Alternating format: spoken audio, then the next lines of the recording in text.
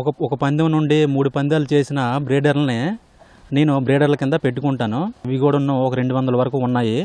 అవి కూడా చాలా ప్రకృతి పరంగా పెంచుతున్నాను. బయట విస్తీర్ణంగా ఒక నాలుగు ఎకరాల ప్లేస్లో పెట్టుకొని అవి మామూలుగా బార్డ్స్ అలాగే ఫ్రీ రేంజ్లో ఉంటాయో ఆ రేంజ్లో పెంచుతున్నాను.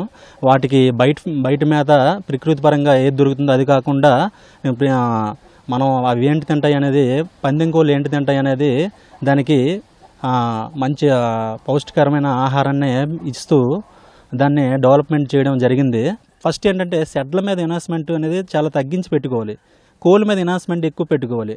మన షెడ్ల మీద పెట్టుబడి ఎంత పెట్టినా సరే తిరిగి రాదు. అదే కోళ్ళ మీద పెడితే మనకి అమౌంట్ అనేది తిరిగి వస్తుంది. మనం పదివేల రూపాయల కంటే ఎక్కువ పెట్టుబడి మరి పెట్టకూడదు. పదివేల రూపాయలతో మన షెడ్ అయిపోయేటట్టు సింపుల్గా అయిపోయేటట్టుగా మనం చేసుకుంటే మనకి నెక్స్ట్ ఏంటంటే కోళ్ళ మీద ఇన్వెస్ట్మెంట్ అనేది పెట్టుకోవడానికి మనకు అవకాశం ఉంటుంది. మినిమం కో ఒక ఒక యాభై వేల రూపాయలు పెట్టి కోళ్ళని తెచ్చుకొని మంచి క్వాలిటీ ఎప్పుడైనా సరే మంచి బ్రీడ్ని పెట్టుకుంటే మనకి రేపు పొద్దున్న రానున్న రోజుల్లో మార్కెటింగ్ అని మనం తిరిగి అమ్ముకోవడానికైనా బాగుంటుంది.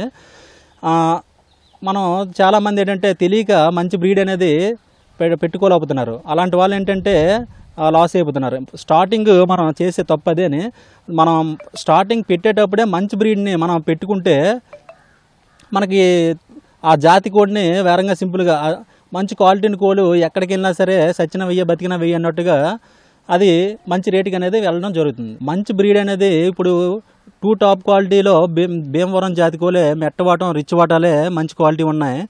ఇంకా పెరు అని క్రాస్ పె- పెరు అనే పెరుగు క్రాస్ అని కూడా ఉన్నాయి. అవి కూడా పెట్టుకుంటే బాగుంటుంది. కాకపోతే మార్కెటింగ్ చేయలేనప్పుడు ఇబ్బంది అవుతుంది. అందుకే భీమవరం రిచ్ వాటం మెట్ట వాటం ఇవి పెట్టుకుంటే ఎక్కడైనా సరే మన ఇండియాలో ఎక్కడైనా సరే అవి సేల్ చేసుకోవచ్చు. ఒక పుంజికి ఒక ఏడు పెట్టల వరకు వేసి దాని నుండి వచ్చిన గుడ్లని స్వతహాగా తయారు చేస్తూ వాటి నుండి వచ్చిన పిల్లల్ని ఫ్రీ రేంజ్లో అవి కూడా తయారు చేసి మనం సంవత్సరానికి ఒక వంద పుంజుల వరకు తయారు చేయడం జరుగుతుంది. పెట్టల్ని కొత్తగా ఫామ్ స్టార్ట్ చేసే వాళ్ళకి సప్లై చేయడం జరుగుతుంది. వాటి ప్రతిరోజు వచ్చే గుడ్లని కలెక్ట్ చేసుకుంటూ నెలకి ఒక ఐదు వందల పిల్లల వరకు తీయడం జరుగుతుంది.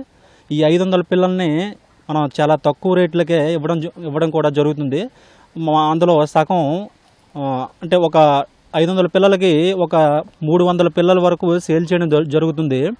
ఒక రెండు వందల పిల్లల వరకు కొంచెం పెద్దవి చేసి సేల్ చేయడం జరుగుతుంది. ఎందుకంటే అందరికీ చిన్నపిల్లలే కాకుండా కొంతమంది పెద్దవి కావాలి. ఇంకొంతమందికి అంటే పుంజులు కావాలి ఇంకొంతమంది పెట్టలు కావాలి రకరకాలుగా అంటే ఒక్కొక్కరికి ఒక్కొక్కటి కావాలి కనుక వాళ్ళకి ప్రజలకు అందుబాటులో అయ్యి అంటే వాళ్ళకి అవసరం తగ్గట్టుగా ఏం కావాలనేది ఆ విధంగా ప్రతి ఒక్కటి మన దగ్గర దొరికేటట్టుగా మనం తయారు చేయడం జరుగుతుంది. చాలామంది ఆ, ఒక్కొక్కరు ఒక్కొక్కలా అంటే మార్నింగ్ ఇంటికి ఎంత తింటుందో అంత పెట్టుకుంటారు. అలాగైనా పర్వాలేదు.